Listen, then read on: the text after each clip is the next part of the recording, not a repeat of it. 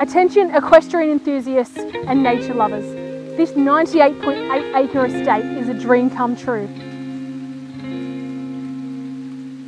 I'm Ayla Bailey from Percival Property, proudly presenting number 155 Blackmans Point Road, Blackmans Point.